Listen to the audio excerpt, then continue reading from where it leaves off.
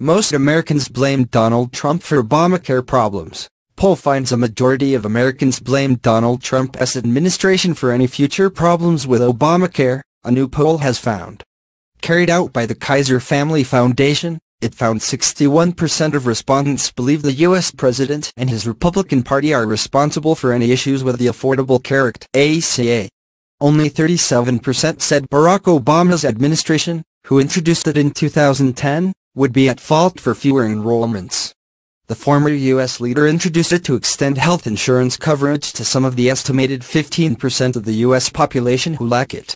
Those people receive no coverage from their employers and are not covered by U.S. health programs for the poor and elderly.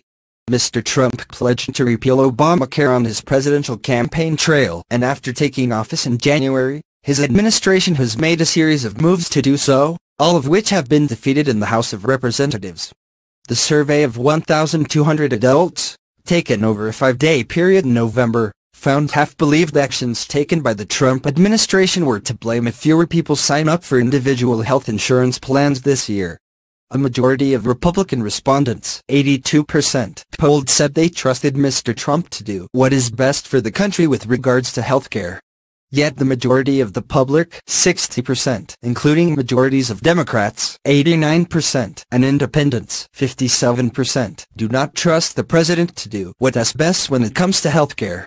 Although Republican efforts to repeal and replace the ACA have failed, the party's actions have been blamed for forcing prices for Obamacare plans up in 2018.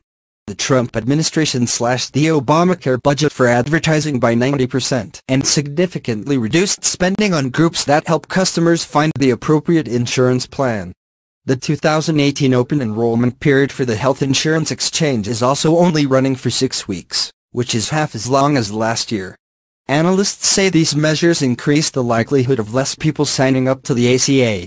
U.S. health officials say 1.5 million people have already signed up for Obamacare individual health insurance plans so far, with more than 600,000 signing up in the first four days. But experts say early figures are not necessarily representative of final sign-up numbers.